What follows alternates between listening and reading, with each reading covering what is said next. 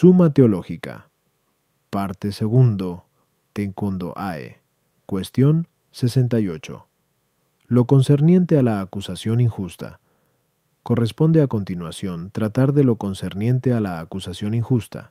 Kiss, Acerca de esto se plantean cuatro preguntas. El hombre está obligado a acusar, debe hacerse la acusación por escrito, de qué modo es viciosa la acusación, cómo deben ser castigados los que acusan falsamente. Artículo 1. El hombre está obligado a acusar. Lat. Objeciones por las que parece que el hombre no está obligado a acusar. 1. Nadie está eximido por un pecado del cumplimiento de un precepto divino, puesto que, en este caso, reportaría ventaja de su pecado, pero algunas personas, a causa de su pecado, se hacen inhábiles para acusar como los excomulgados, los desacreditados y los que son acusados de grandes delitos, antes que se demuestre ser inocentes.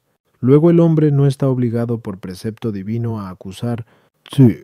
Todo débito depende de la caridad, que es el fin del precepto. Prinotim 1.5, por lo cual se dice en Rom 13.8, Nada debáis a nadie, a no ser amor de unos a los otros, mas el deber de caridad lo tiene el hombre para todos, grandes y pequeños, súbditos y superiores. Luego, no debiendo los súbditos acusar a los prelados ni los menores a sus mayores, como se prueba en muchos capítulos del decreto, parece que nadie está obligado por deber a ser acusador.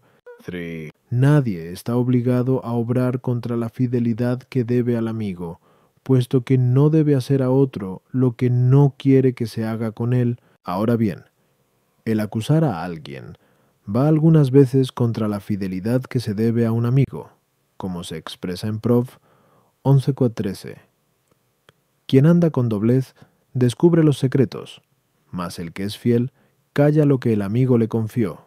Luego el hombre no está obligado a acusar. Contra esto está Lev 5,1, que dice, Si pecase una persona porque, aun oyendo la declaración bajo juramento, y habiendo sido testigo de un hecho que vio o del que tuvo conocimiento, no lo denunciara, llevará consigo su iniquidad.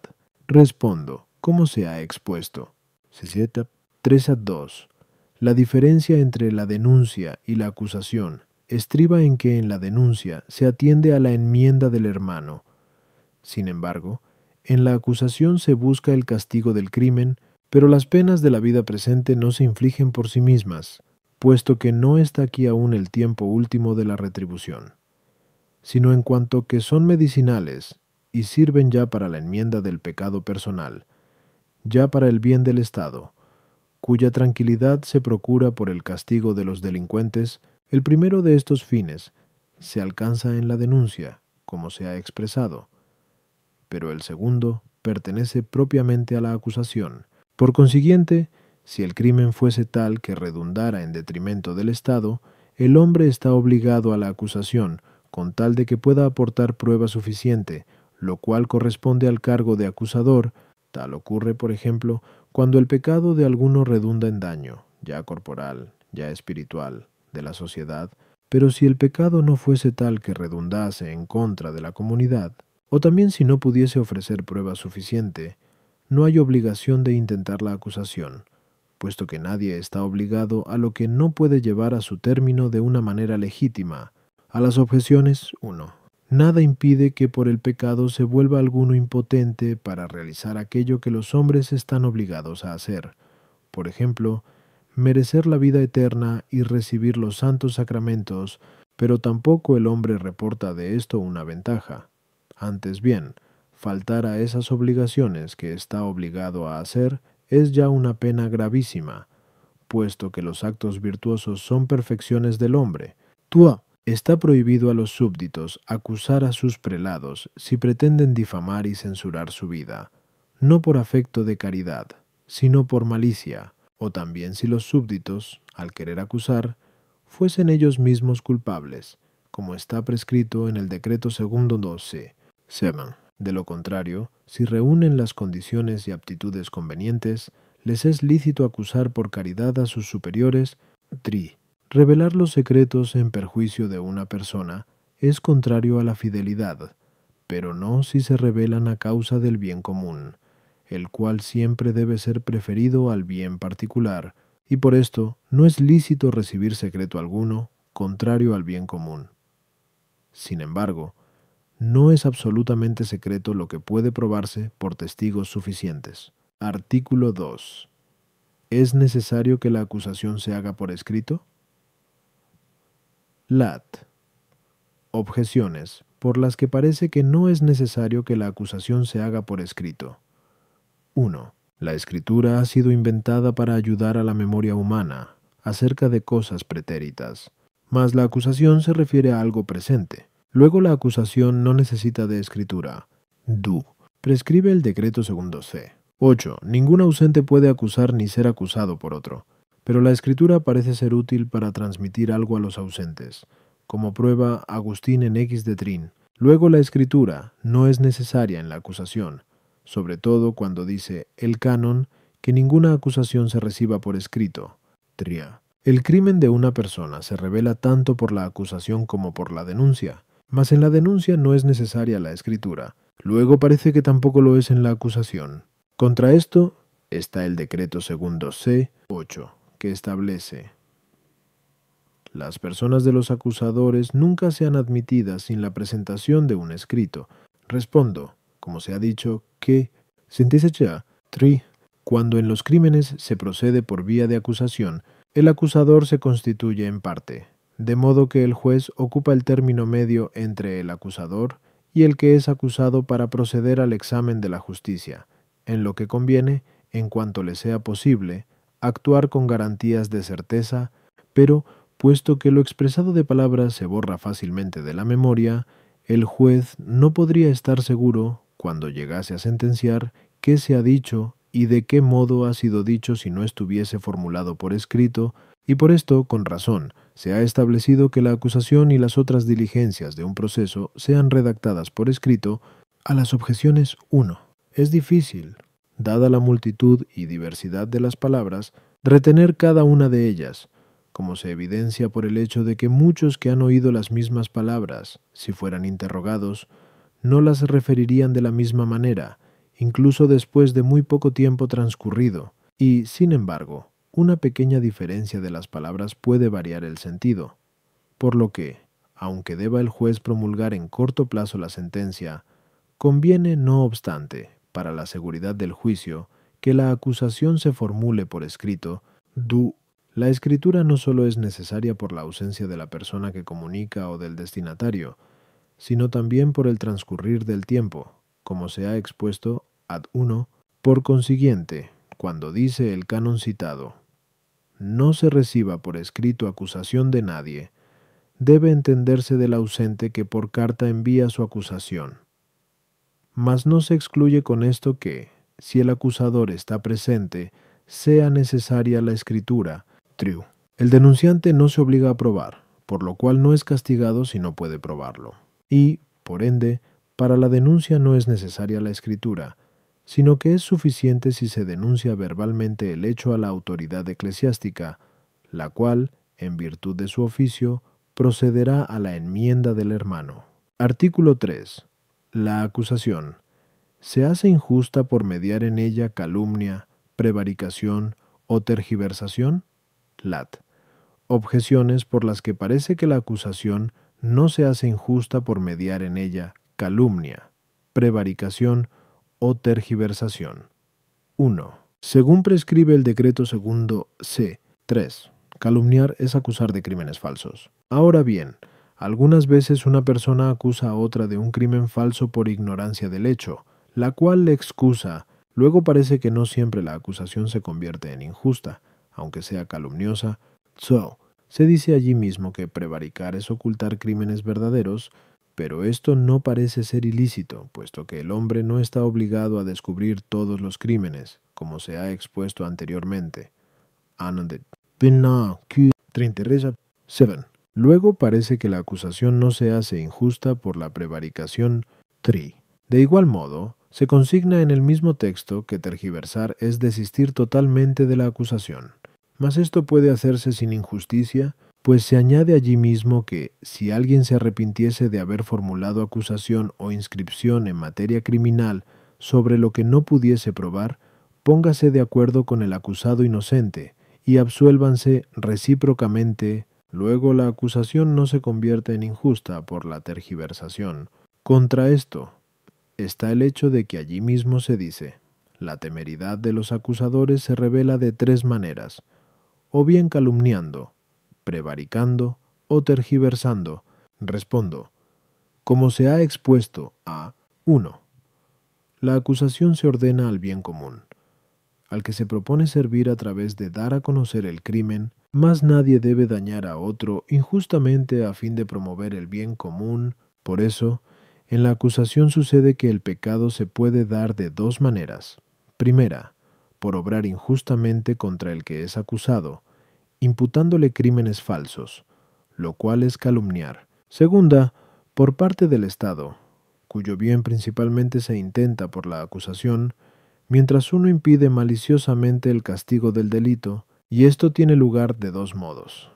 Primero, empleando el fraude en la acusación, lo cual pertenece a la prevaricación, pues el prevaricador es como un transgresor que ayuda a la parte contraria, abandonando su propia causa. Segundo, desistiendo totalmente de la acusación, lo cual es tergiversar, pues desistir de lo ya comenzado parece como volver la espalda a las objeciones. 1. El hombre no debe proceder a la acusación sino sobre aquello de lo que esté plenamente cierto, en lo cual no tenga lugar alegar ignorancia del hecho, sin embargo, no calumnia todo el que imputa a otro un crimen falso sino solamente el que por malicia se lanza a una falsa acusación, pues sucede a veces que por ligereza de espíritu se procede a la acusación, es decir, porque se haya creído demasiado fácilmente lo que se ha oído.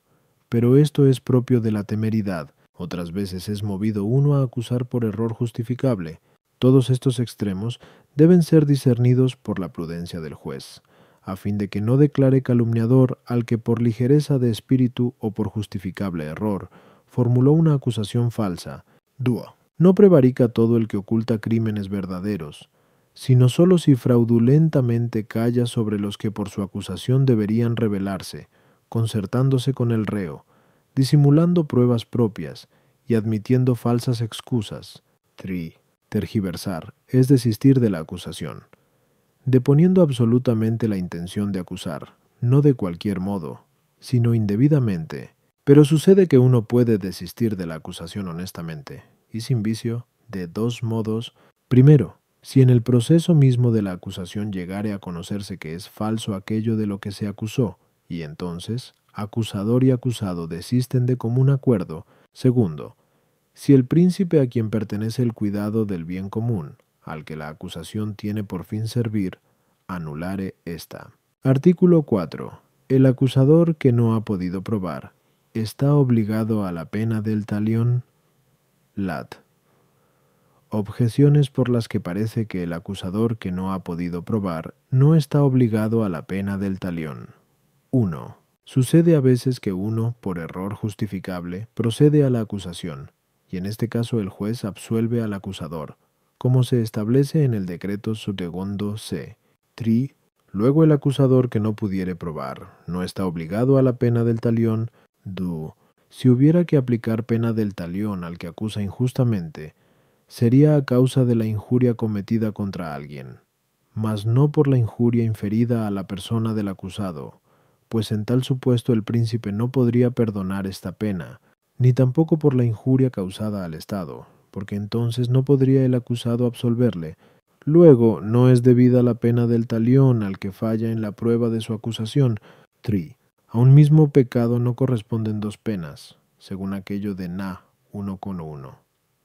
No condenará Dios dos veces por una misma cosa, mas el que no puede probar incurre en la pena de infamia, la cual ni siquiera el Papa parece que pueda perdonar, según expresa el Papa Gelasio aunque nos podemos salvar las almas por la penitencia, no podemos, empero, abolir la infamia. Luego no está obligado el acusador a la pena del talión. Contra esto, está el Papa Adriano, que ordena el que no pruebe aquello de que acusa, sufra él mismo la pena que quiso inferir. Respondo, como se ha dicho, a 2. El acusador se constituye parte en el procedimiento de la acusación, pretendiendo el castigo del acusado, y al juez compete, por el contrario, establecer entre ambos la igualdad de la justicia, mas esta igualdad de la justicia requiere que el daño que el acusador buscaba para otro lo sufra él mismo, según aquel texto de Ex 21-24. Ojo por ojo, diente por diente. Por esta razón, es justo que el que por alguna acusación expone a otro al peligro de un grave castigo, sufra también él mismo semejante pena. A las objeciones. 1. Según demuestra el filósofo en Beethic, en la justicia no es siempre preciso que se dé la reciprocidad de manera absoluta, porque hay una gran diferencia entre si uno perjudica a otro voluntariamente o le daña involuntariamente, quien actúa voluntariamente merece la pena. En cambio, al que involuntariamente lesiona debe otorgársele el perdón. Por tanto, cuando un juez llega a conocer que un hombre ha acusado falsamente, mas no con intención de dañar, sino involuntariamente, por ignorancia procedente de error justificable, no le impone la pena del talión. El que acusa injustamente peca no solo contra la persona del acusado, sino también contra el Estado.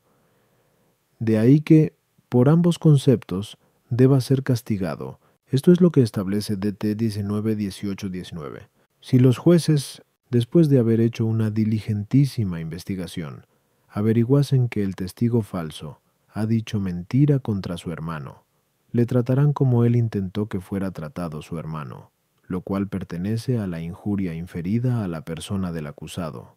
Después, en cuanto a la injuria causada al Estado, se añade, vimos 1920 y quitarás el mal de en medio de ti, para que, oyéndolo los otros, teman y de ningún modo se atrevan a realizar tales cosas. Sin embargo, si acusa falsamente, comete injuria de modo especial a la persona del acusado. Por consiguiente, el acusado, si fuese inocente, puede perdonar su injuria, máxime si no hubiese sido calumniosa la acusación, sino por ligereza de espíritu, pero, si se desiste de la acusación del inocente por confabulación con el adversario, cométese injuria contra el Estado, y esto no le puede ser perdonado por el que es acusado, sino por el príncipe, que tiene el cuidado del Estado.